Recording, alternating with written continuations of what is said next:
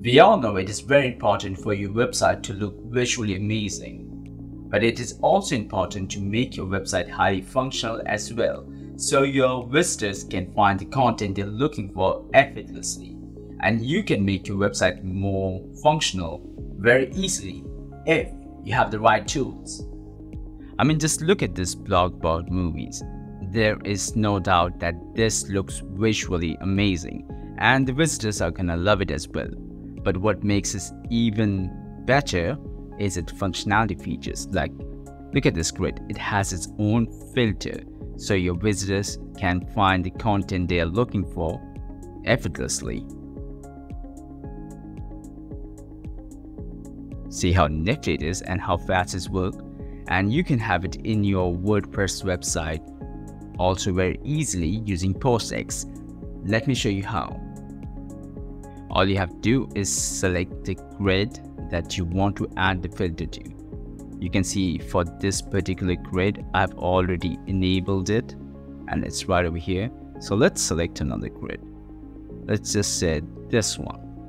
Select the grid and under the general tab, enable advanced filter and there is our advanced filter you can customize it as much as you like you can change the alignment change the gap i'm going to keep it in center change the spacing tweak the spacing then you can add more filters if you want you can add an auto filter filter by order sort filter custom taxonomy and search filter and so on.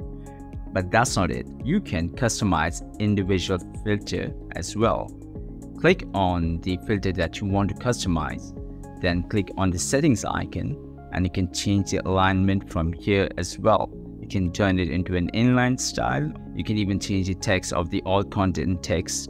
Uh, let's just keep it all text with this one. Then there is a visual customization setting. To do so, click on this icon right over here. From here, you can change the typography. You can select the uh, style. Let's just keep that PostX global style because that suits really well. You can change the size. You can even change the font, the weight, and so on. Then there's a color. You can change the color of the text. Let's keep it black. Change the hover color that looks nice but I'm gonna change the hover background color to white so yeah and change the normal background color as well. Then there's a setting for border border radius box shadow padding and so on. You can even customize the drop down style. You can change the alignment. This looks better right now.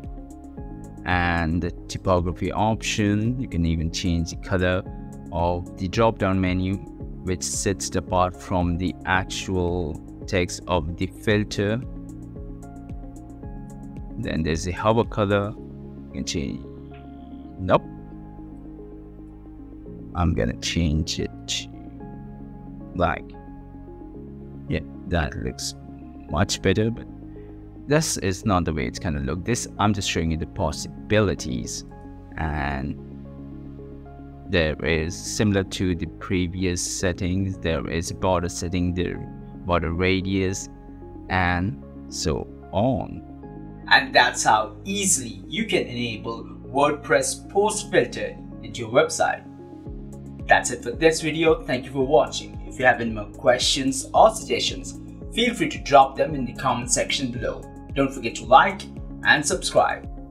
Man, I love these filters.